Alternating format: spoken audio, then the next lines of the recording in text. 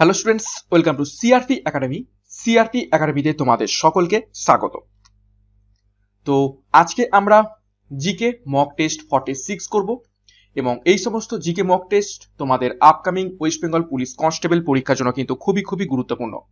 এবং বিগত বছরে সিআরপি একাডেমির করানো এই সমস্ত জিকে মক টেস্ট ক্লাস থেকেই তোমাদের হুবহু প্রশ্ন কমন এসেছিল এবং আশা করা যাচ্ছে আপকামিং এক্সামেও কমন আসবে। তো প্রত্যেকে গুড মর্নিং এবং চলো আজকে GK mock test forty six কি কি প্রশ্ন উত্তর রয়েছে সেগুলো দেখে নেওয়া যাক।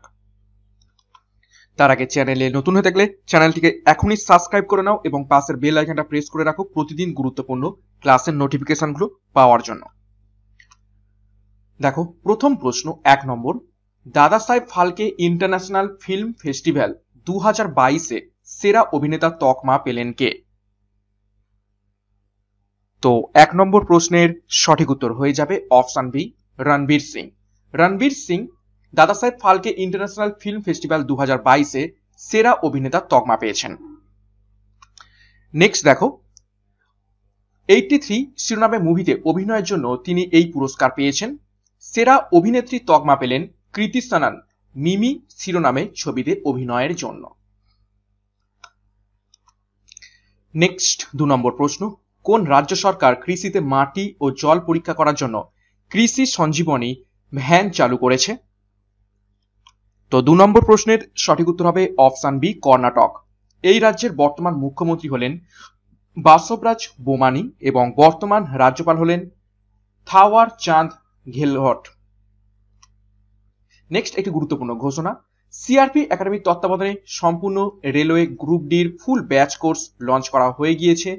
যেখানে তোমরা সিলেবাস ভিত্তিক গণিত রিজনিং সাধারণ বিজ্ঞান এবং সাধারণ জ্ঞানের ক্লাস পাবে সম্পূর্ণ নব্বই প্লাস চ্যাপ্টার এবং সত্তর ঘণ্টার প্রি রেকর্ডেড ভিডিও এবং পিডিএফ এর মাধ্যমে সম্পূর্ণ বাংলা ভাষায় থিওরি এবং এমসিকিউর মাধ্যমে। তো রেলওয়ে গ্রুপ ডি এই পরীক্ষাটাকে ক্র্যাক করতে চাইলে অবশ্যই অবশ্যই সিআরপি একাডেমির এই ফুল ব্যাচ কোর্সে ভর্তি হয়ে যাও। ডিসক্রিপশন বক্স থেকে মাত্র সাতশো উনপঞ্চাশ টাকার বিনিময়। এবং এছাড়াও আমাদের হোয়াটসঅ্যাপে যোগাযোগ করতে পারো। নেক্সট তিন নম্বর প্রশ্ন। উচ্চতাজনিত ভয়কে বলা হয় নিচের কোন ফোবিয়া তো তিন নম্বর প্রশ্নের সঠিক উত্তর হবে অপশান এ অ্যাক্রোফবিয়া বলা হয়ে থাকে। দেখো, কিছু গুরুত্বপূর্ণ ফোবিয়ার ব্যাপারে দেখে নেব। অটোফোবিয়া সেটা হলো একাকিত্বের ভয়। আগ্রাফোবিয়া, সেটা হলো যৌন নিপীড়নের ভয়।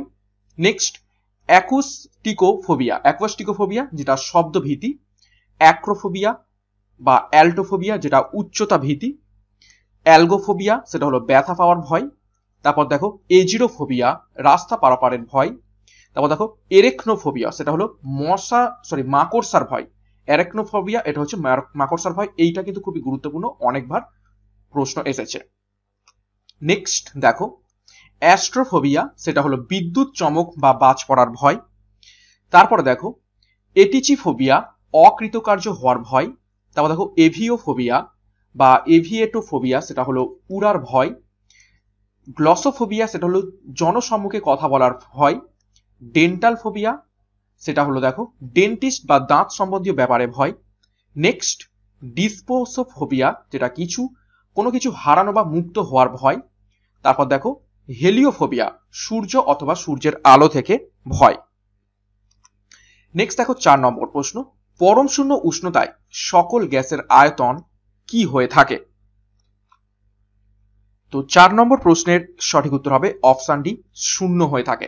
পরম শূন্য উষ্ণতায় সমস্ত গ্যাসের আণবিক গতি বন্ধ হয়ে যায়।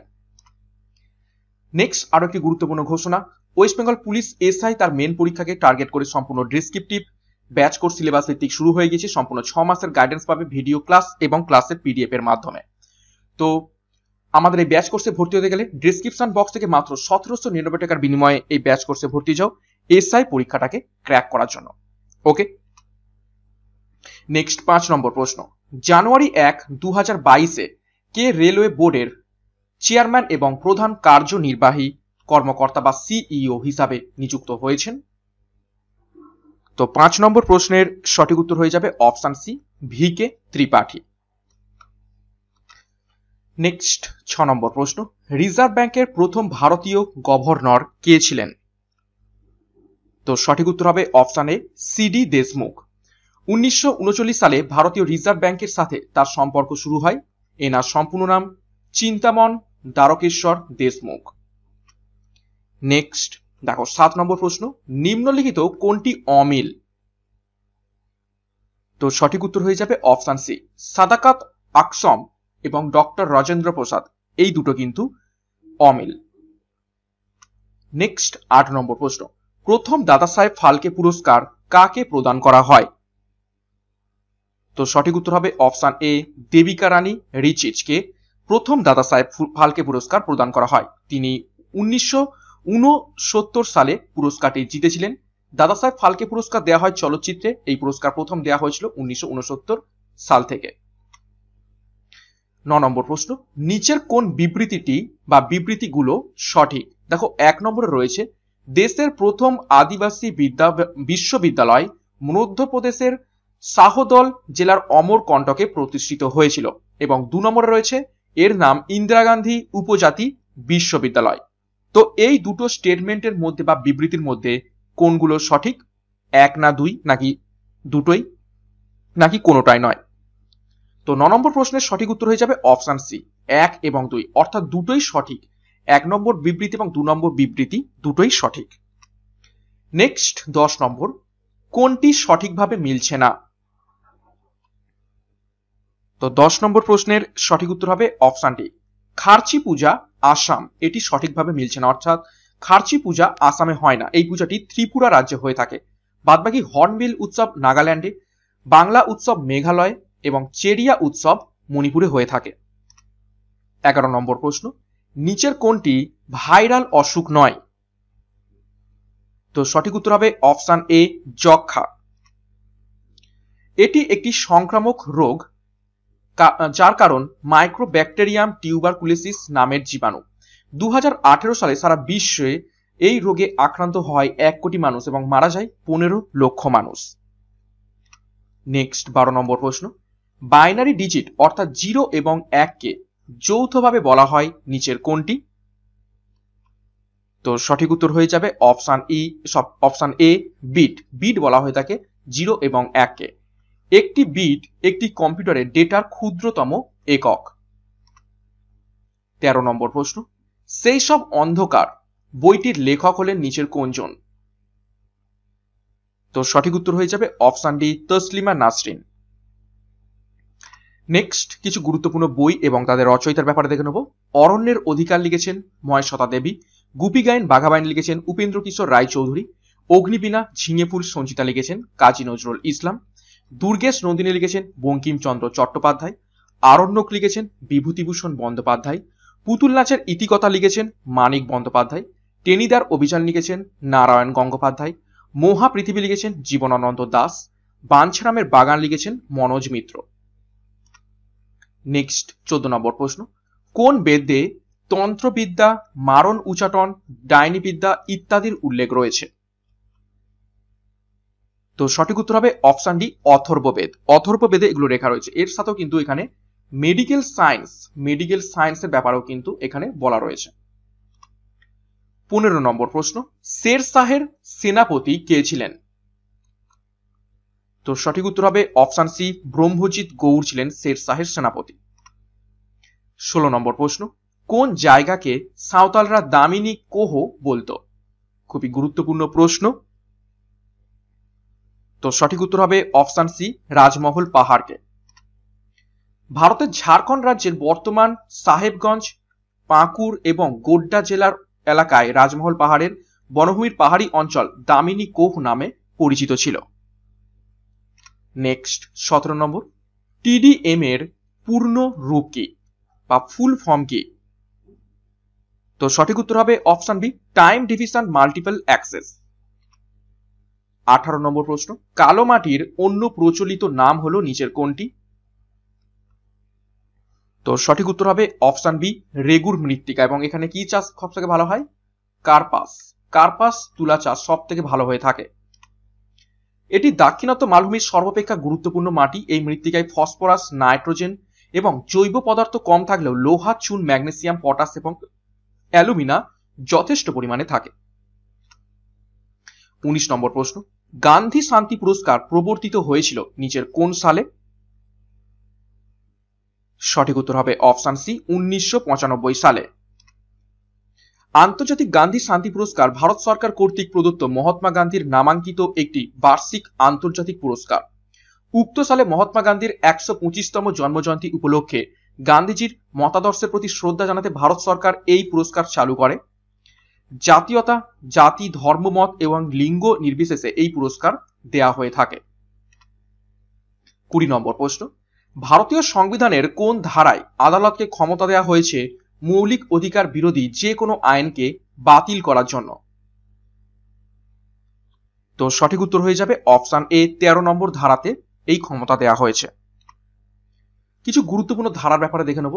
কেন্দ্রীয় ও রাজ্য সরকারি চাকরির ব্যাপারে বলা রয়েছে তিনশো আট থেকে তিনশো তেইশ নম্বর ধারা। নির্বাচন ও নির্বাচন কমিশনের ব্যাপারে বলা রয়েছে তিনশো চব্বিশ থেকে তিনশো উনত্রিশ নম্বর ধারায়। তপশিল জাতি ও উপজাতি এবং ইঙ্গ ভারতীয়দের জন্য ব্যবস্থা করা হয়েছে তিনশো তিরিশ থেকে তিনশো চল্লিশ নম্বর ধারায়। জরুরি অবস্থার ব্যাপারে বলা রয়েছে তিনশো বাহান্ন থেকে তিনশো ষাট নম্বর ধারায়। সংবিধান সংশোধনীর পদ্ধতির ব্যাপারে বলা রয়েছে তিনশো আটষট্টি নম্বর ধারায়। অস্থায়ী এবং বিশেষ ব্যবস্থা গ্রহণের ব্যাপারে বলা রয়েছে তিনশো উনসত্তর থেকে তিনশো বিরানব্বই ধারায়। সংবিধানের সংক্ষিপ্ত শিরোনাম, সূচনা এবং বাতিল সম্পর্কিত বিষয় ব্যাপারে রয়েছে তিনশো তিরানব্বই থেকে তিনশো পঁচানব্বই ধারায়। টোয়েন্টি ওয়ান, পলিগার বিদ্রোহ প্রকৃতপক্ষে কি ধরনের বিদ্রোহ ছিল? তো টোয়েন্টি ওয়ানের সঠিক উত্তর হবে অপশন এ কৃষক বিদ্রোহ ছিল। এই বিদ্রোহ হয়েছিল সতেরোশো তিরাশি খ্রিস্টাব্দে। দক্ষিণ ভারতের ব্রিটিশ ঔপনিবেশিক শাসন শোষণের বিরুদ্ধে প্রাথমিক প্রতিরোধ রূপে প্রতিরোধ রূপে যে কৃষক বিদ্রোহটি সংঘটিত হয়েছিল, তার নাম পলিগার বিদ্রোহ। পলিগার এই নামটি ব্রিটিশদেরই দেয়া। বাইশ নম্বর প্রশ্ন, বুল এবং বিয়ার শব্দ দুটি কিসের সাথে যুক্ত? তো সঠিক উত্তর হয়ে যাবে অপশন সি, শেয়ার বাজারের সাথে যুক্ত। টোয়েন্টি থ্রি সরি নিচের কোন নদীটি নামচা বারোয়াতে উল্টো ইউ আকৃতি বাঁক নিয়ে ভারতে প্রবেশ করেছে? তো প্রশ্ন নাম্বার তেইশের সঠিক উত্তর হয়ে যাবে অপশান বি, ব্রহ্মপুত্র। এই নদী উৎপত্তি স্থল তিব্বতের রাক্ষসস্থল মানস সরোবরের কাছে চেমায়ংদুম হিমাবাহতে পতনস্থল বঙ্গোপসাগর উপনদী, সুবর্ণশ্রী, কামেং, মানস, শঙ্কস, তিস্তা, ধানশ্রী, কপিলি, বুড়ি, তোরসা ইত্যাদি। চব্বিশ নম্বর প্রশ্ন। ভারতের প্রথম জাতীয় উদ্যান উনিশশো সালে প্রতিষ্ঠিত হয়। সেটি নিজের কোন জাতীয় উদ্যান? তো সঠিক উত্তর হবে অপশন সি, জিম করবেট জাতীয় উদ্যান। এই জাতীয় উদ্যানটি উত্তরাখণ্ডের নৈনিতাল জেলার এবং পৌরি গাড়োয়াল জেলায় অবস্থিত। টোয়েন্টি ফাইভ নিচের কোন শহর দু এশিয়ান গেমসের আয়োজক হবে? তো সঠিক উত্তর হবে অপশন এ, দোহা। ছাব্বিশ নম্বর প্রশ্ন, ভারতীয় সংবিধানের কোন অনুচ্ছেদে ভাষাগত সংখ্যালঘুদের জন্য বিশেষ অধিকার নিয়োগ করার ক্ষমতা রাষ্ট্রপতিকে দেয়া হয়েছে? তো সঠিক উত্তর হবে অপশন সি, অনুচ্ছেদ তিনশো পঞ্চাশ বিতে সাতাশ নম্বর প্রশ্ন, নিচের কোনটি জাতিসংঘের জনসংখ্যা তহবিলের সদর দপ্তর? তো সঠিক উত্তর হবে অপশন এ, নিউ ইয়র্ক। সংক্ষিপ্ত নাম, ইউনিসেফ এবং প্রতিষ্ঠাকাল ডিসেম্বর উনিশশো ছেচল্লিশ। আঠাশ নম্বর প্রশ্ন, পরীক্ষাকালে প্রথম সংশোধিত জৈব যৌগটি ছিল নিচের কোনটি? তো আঠাশ নম্বর প্রশ্নের সঠিক উত্তর হয়ে যাবে অপশান বি, ইউরিয়া। আঠারোশো আঠাশ সালে অ্যামোনিয়াম সায়ানেটের জার্মান রসায়নবিদ ফ্রেডরিক অহলার এই যৌগটি প্রথম সংশ্লেষ সংশ্লেষ করেন। Next, twenty nine. Bhitarkanika wildlife sanctuary নিচের কোন রাজ্যে অবস্থিত? তো সঠিক উত্তর হয়ে যাবে অপশান এ, উড়িষ্যাতে অবস্থিত। এটি ষোলোই সেপ্টেম্বর উনিশশো আটানব্বইতে মনোনীত হয়েছিল এবং উনিশ আগস্ট দু দুইতে এটি একটি রামসার সাইটের মর্যাদা পায়। এবং আজকের ক্লাসের শেষ প্রশ্ন প্রশ্ন নাম্বার তিরিশ। স্বাধীন ভারতের প্রথম সাধারণ নির্বাচন বা ফার্স্ট জেনারেল ইলেকশন অনুষ্ঠিত হয়েছিল নিচের কোন সালে? খুবই গুরুত্বপূর্ণ প্রশ্ন, অনেকবার এসেছে। তো তিরিশ নম্বর প্রশ্নের সঠিক উত্তর হবে অপশান বি, উনিশশো একান্ন থেকে উনিশশো বাহান্ন সালে। ওকে? তো আজকের ক্লাসটা কেমন লেগেছে? অবশ্যই অবশ্যই একটা লাইক এবং কমেন্ট করে তোমরা জানাবে তোমাদের এই প্রশ্ন উত্তরগুলো কেমন লাগছে। এবং সিআরপি একাডেমি বর্তমানে ওয়েস্ট বেঙ্গল পুলিশ রেলওয়ে এবং এসএসসি সিএইচএসএল তার সেরা প্রস্তুতি দিচ্ছে। তো চ্যানেলে নতুন হয়ে থাকলে এখনই চ্যানেলটিকে সাবস্ক্রাইব করো এবং পাশের যে বেল আইকনটা রয়েছে সেটা প্রেস করে রাখো। এবং আমাদের টেলিগ্রাম গ্রুপে যুক্ত হয়ে যাও ক্লাসের পিডিএফগুলো পাওয়ার জন্য এবং গুরুত্বপূর্ণ নোটিফিকেশন পাওয়ার জন্য। তো আজকের মতো ক্লাসটা এখানে শেষ করলাম। Thank you